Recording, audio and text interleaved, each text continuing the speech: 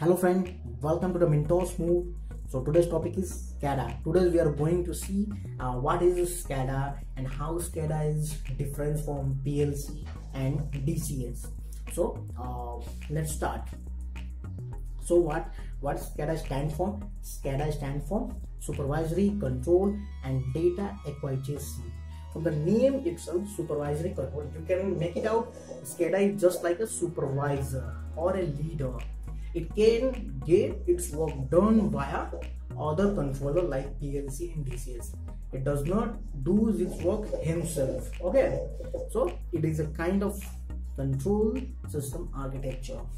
And another point is it is a software package.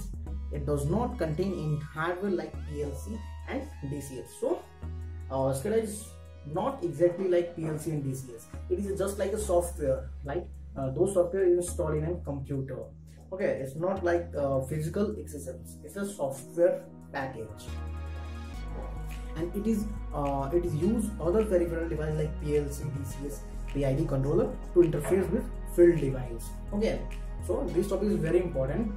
So PLC and DCS is a uh, is, a, is in pain and it exists in a field and interface with field device, but SCADA is a software. It does not uh, interface with directly uh, interface with field device. Okay.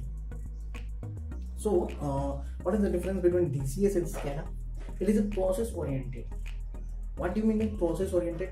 And uh, scada is a data gateway oriented. So the main meaning is that the process is controlled by scada but the command which are given on a SCADA page will be sent to the PLC or DCS or PID controller and then PLC or DCS on PID control will sending the signal to the field element to control the process. So you can make it out that SCADA does not do its work independently. It's use a controller like DCS and PLC. That's why it's called data gateway oriented and DCS is called process oriented. Whole process is done by DCS but the name uh, and uh, priority given to the SCADA.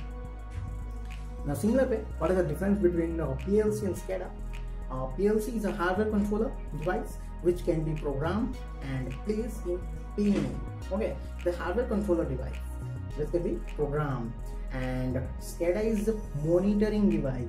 It is a monitoring device. It can monitor the uh, PL, uh, PLC and DCS software used to monitor control PLC.